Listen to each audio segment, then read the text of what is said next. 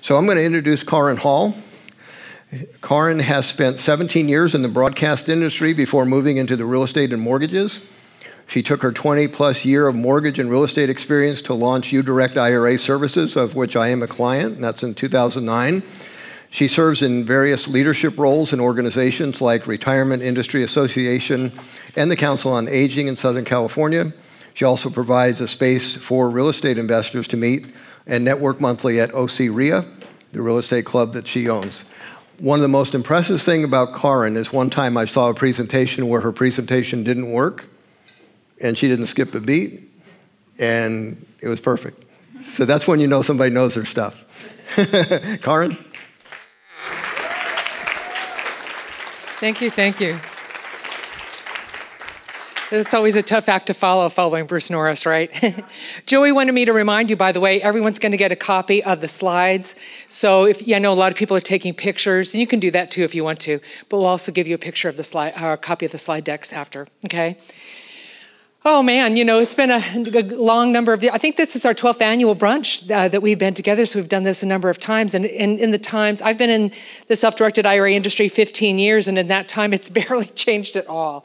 It's real, and you know, it almost did though. How many people remember last year the Build Back Better Act? We were all thinking, what's going to happen to private equity? And, and it was no joke. And fortunately, through efforts of self directed IRA people, through uh, private equity people, you know, we got uh, Congress uh, to revisit that. Unfortunately for Manchin, it got voted down. Yay!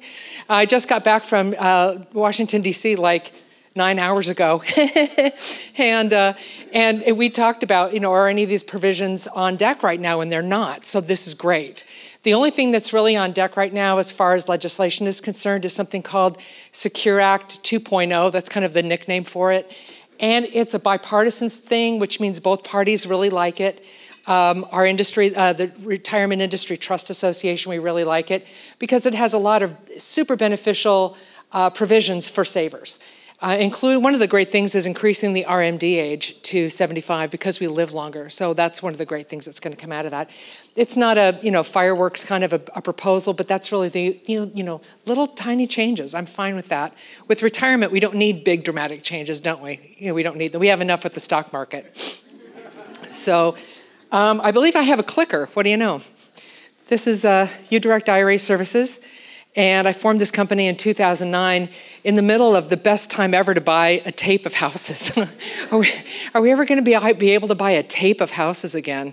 Is that nuts? You know, you could buy houses on tape. You just call the bank and it's like, hey, we've got this whole, you know, group of, of houses. Why don't you just buy them sight unseen? And you do, and you make a fortune. And that was great for self directed IRAs. It was a great time to open uDirect IRA services because people could come in, get houses at a super discount, and, and hold them. And just last year, we saw so many people in 2021 at the peak selling these houses that they bought in 2009 for great profits. And those profits were tax free if they had a Roth or tax deferred. Um, so so that's, that's one of the great things. That's what self directed IRAs can give you. That, that's a possibility out of the out of the out of the mix there. But when you when you think about self-directed IRAs, it's about retirement, it's about saving for later. And we all have to do that because really very few of us are actually prepared to, you know, formally retire. It takes a lot of money. So if you had $100,000 and for some people that's a lot of money and they think, "Well, I've got 100,000, I think, you know, I'm going to retire on this." You know, you just break it down and you realize $100,000 is $400 a month. You know, if you were 59 and a half and you lived till you're 86 and a half and you took an even distribution every year, that's all you'd have. So the information that you received today, I hope you can use it to build your retirement savings um, so that you can retire more comfortably and be ready for this. There is a lot of money in American retirement, even still. I don't think anyone's 401k has turned into a 201k yet. You know that the market went back up last week, didn't it? But, uh, but there's a lot of money in the American savings. And I think it's right now, it's um, IRAs, it says 10.4, but like I said, I did just get back from a meeting. It's like 13.7, uh, $13.7 trillion just in IRA money. There are also funds there, you know, in 401ks, defined benefit plans, um, annuities, and things like that, other kinds of retirement vehicles. Uh, so why am I telling you this? First off, it's a great number. it makes us feel safe. You know, we're Americans are savers. But also, is anyone in this room raising capital? Anybody? We got one. who people who admit a couple people are raising capital. Well, guess what? Self-directed IRAs also provide a pool to draw from uh, when you're raising capital. And in the best case scenario, it's a win-win for everyone, and it can be that you know you're raising capital, uh, and through that capital you're improving a neighborhood, uh, or you know, or building our neighborhood, making something better, and then the investor uh, ideally receives a good return. So it can be a win for everybody. Okay. So, has anybody not heard of a self directed IRA? I know we have a pretty sophisticated group, but I think everyone's heard about this. Like, no hands go up. This is great. This is, you know, 15 years ago wasn't this way for sure, but we're talking about it more and more. Um, so, these self directed IRAs were created at the same time as the ERISA Act was passed in 1975. You could always invest in alternative assets. So, a self directed IRA is like any other IRA. It just, it just it just the only difference is the asset that you actually put into the account. There you go. So with a typical IRA, it's market correlated assets, and with a self-directed IRA, it's alternative assets. We're here talking about real estate today. That's what we all know and love, but it's also precious metals. Your IRA can have a debt or equity position in a business um, directly or through private equity. Your IRA can invest in actual physical metal that we store. No such thing as gold at home, by the way. If you want to ask me that question later, I'll explain. but you can, uh, your IRA can actually hold metals, and that's getting more popular. Um, you can buy, what else? You know, uh, mobile home parks. Uh, you can do ground up construction in Garden Grove, you know what I mean? You can do all different kinds of things using self directed IRA money. Okay, so if anybody doesn't know about it, it's tried and true, like 47 years, older than some of, this, of the people in this room, right? There we go. So again, the difference, the only difference between a typical IRA and a self-directed IRA is the asset class, and we kind of went through those. So it, it's a lot of different things. Um, and yeah, we see. I think we see number one, the number one asset in our industry is private equity, like the Reg A, B, C, D offerings. Some where you need to be accredited, somewhere you're a sophisticated investor. That's the number one asset class. Followed by, I think, number two would be notes, uh, where people are lending their money uh, to, other, to other projects, secured or unsecured. Okay. So when you talk about investing, I, I, I again, when I was in DC this, this week, I, I headed a fraud panel. And we talked with, uh, on that panel was uh, the CEO of another large self directed IRA company, um, a couple of them. And also, I, I met someone who was actually uh, incarcerated for eight years for stealing money as an SEC, as a broker's, a commodities exchange guy and he turned himself in and now he's James the fraud guy. and that's his, and he goes around helping people not to be stolen from. And it's it's a tough thing. It's it's an emotional thing. And how do you how do you keep from being stolen from? How do you prevent fraud? It's so hard because a lot of times when people do um, have a loss in their IRA or somebody commits a Ponzi scheme, they didn't wake up and think, "Oh, I'm going to steal a bunch of money." They got into a situation and they robbed Peter to pay Paul and the next thing you know, they got in over their heads. And that's what happened with our friend James. He uh, was trading money for a lot of, a lot of people, and he had some losses. And for eight years, he covered those losses. And he had the kind of education where for eight years he could really, you know, actually make that a, a you know a, a, believable thing. People were even auditing him, and he just you know took the logo and put it on his on his financials, and no one no one was the wiser. He just couldn't stand the guilt anymore, and he turned himself in and served. I, it was like eight nine years in Joliet. It's like where is he from? It says Chicago, Joliet, his places of residence. Um, so and anyway, so now he's making it his, his life effort. But when, when you do invest, it's not just enough to do your due diligence on day one. Uh, it just really isn't. You have to do your due diligence. I mean, we had an account holder who was just about to invest half a million dollars. Now, that okay, that's great, but think about half a million dollars in a retirement account when at that time the most you could contribute was $2,000 a year. That's a lot of money. And how did this woman get this money? And she had been in the military, so she just, I don't know how she did it, but she really saved in her TSP and, and her uh, 457 and, and really, and, and, just had half a million. So, so great. So she invested in note. Tell me if you would do this. This note was a $500,000 note on real estate, unsecured. Like, what? Like, she obviously wasn't sophisticated She certainly wasn't accredited. A note is a security. So if somebody is going to let, um, be taking on, you know, having you lend them a lot of money, they're going to, you know, be that kind of, a, of an asset uh, sponsor. They're, uh, you know, there's a lot of responsibility. They have to be, have to have that in, uh, investment uh, approved by the SEC, and they have to be approved by the SEC. So we took a look at this deal, and because it was just so blatantly fraudulent, and we did, we did a little homework, like, well, where does this woman live? She lived in a like a fifty thousand dollar house in the southeast, so she wasn't a wealthy woman, right? And her, she was in her mid 50s. There was no way she could make this money back over time. And we were able to actually um, long story, very long story short, have these people put away, incarcerated. So that's great. Yeah, and, and that and working with regulators and so forth. And uh, just recently, there was somebody uh, who, an asset sponsor who had a note. One of our account holders invested in, with them using a note, and they wanted to modify that note. And so what they did is they they sent to us the note, and they just wrote on the front "modify." You know, that's that's not how you do it, right? and so that that just raised some serious red flags. So that's I mean, when we see this this sort of stuff, we want to look for it. So it's who is this person? Who's doing this?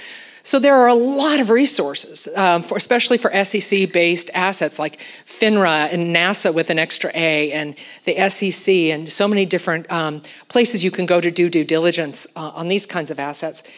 And I, I, looked up this guy on the FINRA website, and sure enough, he was he was like uh, suspended from activity several years ago by FINRA. So he wasn't supposed to be doing this at all. And fortunately, in the FINRA website where I found this letter that's probably seven years old, his suspension, was the, was the email address of the FINRA officer. And so I emailed her, I said, hey, is this still, is he still, you know, uh, suspended? And she said, yeah, well, by the time we were done, he was barred. Now it says barred, and also incarcerated. So he's in jail. And we were able to catch it mid Ponzi just because of a stupid mistake that we happened to catch. But most of the time, we can't catch fraud. It's, it's so undetectable. I mean, you're the investor and it's your money and, and you're doing your best job, you know, trying to look for fraud. And if we see it, we, we'll do something, but, uh, but we can't always do it. We don't always know when it's going to happen. So when your IRA does lose money, you don't get to write it off, and it's a real loss um, if you lost money in the stock market or have ever had this experience. So you really want to do your homework up front, but then be diligent during the investment to make sure, check up on them. You know, and if it's a private placement, look in the PPM and the subscription agreement and, and see if they are going to provide audited financials, because a lot of times they don't. And if they're not going to provide audited financials, how do you check up on them? So you want to you want to you know, put their feet to the fire when you're investing in these things. It's just a straight up loss. It's not the kind that Matt and Amanda will tell you you could write off. So you can't write off this kind of loss. And it's hard to replace because you've got contribution limits, don't you? So just know that. I mean, we want to help you invest safely, but there's also the unsafe side because you know with investing there's risk. What was it, George? Where's George? We, we were just discussing that this morning. Yeah, that with investment there's risk. He goes, Really? okay. Um, so, what are the limits? Self directing, you can invest in anything except life insurance and collectibles. Okay, pretty great. That's a real short list. So, there are a lot of different asset classes you can put in a self directed IRA. Um, and there are rules. And the rules are written mostly by the IRS, and Department of Treasury, and the rules are pretty simple, uh, so we'll cover them. So you don't have any personal benefit today from an IRA. No, you don't borrow money from it for yourself. You don't lend money to uh, a disallowed person. We'll talk about that. You don't buy property like houses for your own personal use, present or future. And these kind of rules are written. One of the rule books is irs.gov publication 590, so you can jot that down. Pub 590 has been broken down um, since I started in the IRA field uh, into A and B. A, how the money comes in, and then B, how the money goes out. Okay, so it's, it's, it's an easy read too, and it's very informative. So some people are disallowed to your IRA. What does that mean? It means that your IRA can't do business with them, and I'll, I'll, go deeper on that, but it's your lineal ascendants and descendants. Like if you passed away, who would inherit your estate? Think of it like that. You know, you know, your parents, grandparents, you and your spouse, your children, your grandchildren plus any fiduciary or a 50 50 business partner is a disallowed party. But the people who are allowed are the people out to the sides on your family tree, like your cousins, um, your brothers and sisters, your nieces and nephews. They're allowed, okay?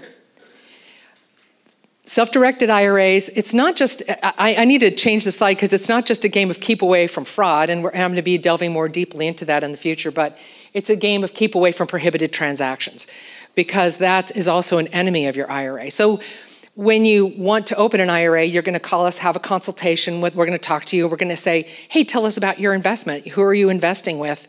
You know, what does it look like? And we're going to be listening to hear if it seems like a prohibited transaction to us. What that means is that neither you nor any of those disqualified people can benefit today, not personal benefit, present benefit, indirect benefit. Like, you can't have your IRA invest in an LLC that then lends the money to your spouse. You know what I mean? That's indirect benefit. I know we're all clever investors and you always want to think of a way, right? but you can't do that. Um, you don't buy, sell, or exchange assets between your, your IRA and any of these people. And these disallowed people, including you, they can't provide services to the plan. One of those services is if it's a house, like you can't go, you know, no contribution of sweat equity, you can't swing the hammer or do any of the work on it. You have to hire third party vendors.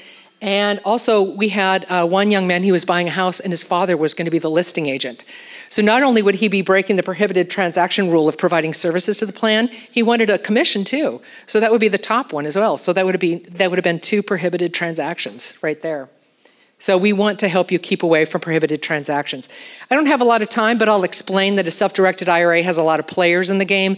You are the driving force. There's your IRA, um, which is your tool in your tool belt. There's uDirect IRA Services, the best company in the world. Okay.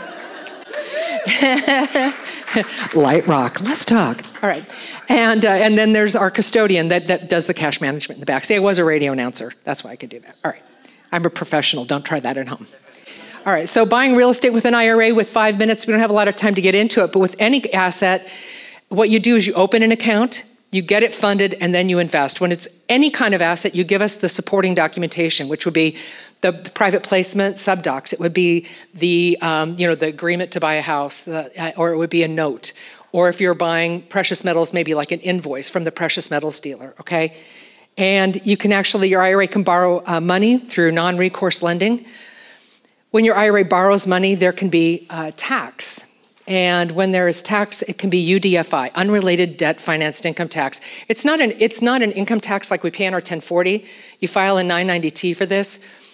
But say you invested in a private placement and that asset sponsor is taking on debt. You, you really want to ask that question going in hey, are you taking on debt?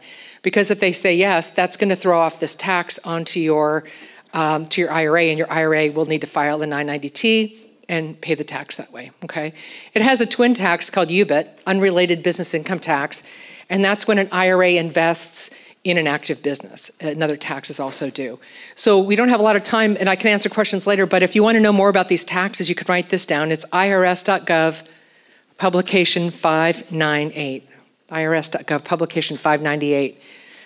There's a checkbook IRA. These are still allowed. Um, I, we actually talked to the IRS this week. we were asking them about audits, and they said, "Oh no, we're going to use all this money just to you know to put more friendly people on the on the phones." It's like okay, but if they audit you, you know that's what they said. Um, they're going to come after uh, the IRA-owned LLC. So if you have one, make sure that your bookkeeping is neat as a pin. That you're only using that money for investing or to pay the expenses of an asset owned by the LLC. That's all you can use that money for. Okay. When we talk about self-directed IRAs, it's it's sort of an umbrella term. I want you to know that. It's a lot of things. It's the traditional, which is the number one, you know, we have the most traditional IRAs of any type. Traditional, Roth, SEP, simple, spousal, inherited IRAs, and also the solo 401k. All of these things can be self-directed, and the HSA too, which is pretty cool. All right, so how do you do it? Again, three things open an account, doesn't take very long. We have a new uh, cool platform, it's been around about a year or so. So you open an account, and once the account's there, you fund it either by making a contribution, by doing an IRA to IRA transfer, or you talk to your previous employer's plan administrator and do a rollover. If you used to work there, they'll release the money into a new IRA. It's called a rollover. So you get it funded, and now you can invest. So that's where the you direct part comes in. You direct, you tell us, hey, this is what I want my IRA to invest in. Here's the documentation. You fill out a direction of investment form, kind of like a check, like, hey, this is me, this is how much, this is where it goes, check or wire. and we disperse the funds. And then you've self directed. Um, I'll mention too that all proceeds of a self directed IRA must go in the IRA that owns the asset. And if there are any expenses of the IRA, like filing a 990T, or uh, maybe if you, if you have a note and you have to do some foreclosure or something like that, uh, any kind of expense of the IRA is paid for by the IRA. And in this, at, right now I have zero minutes. So there you go. So I just wanted to show you what I look like after two hours of hair and makeup. there you go. And, uh, and we'd love to help you. And we'll have the panel up here answering all your questions in just a little bit. Thanks so much.